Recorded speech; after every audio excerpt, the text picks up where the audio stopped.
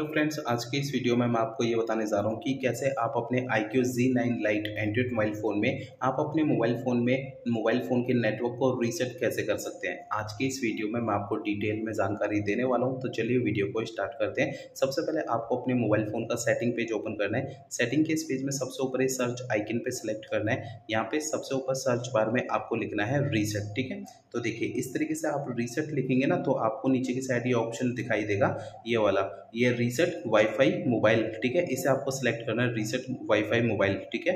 आपका phone directly आपको setting में लाएगा। Reset wifi mobile and Bluetooth का ये ऑप्शन सेलेक्ट करना है। इस वाले पेज में आपको नीचे रीसेट सेटिंग का ये ऑप्शन सेलेक्ट करना है। अब देखिए, यहाँ पर आपको अपने मोबाइल फ़ोन का स्क्रीन लॉक एंटर करना है। अब आपका ये वाला पेज आएगा। इसमें देखिए, सबसे ऊपर रीसेट ऑल नेटवर्क लिखा हुआ है ना तो आपको नीचे की साइड ये रीसेट सेटिंग का ये ऑप्शन सेलेक्ट करना है। तो आपको नीचे यहाँ पे थोड़ी देर में लिखा हुआ आ जाएगा।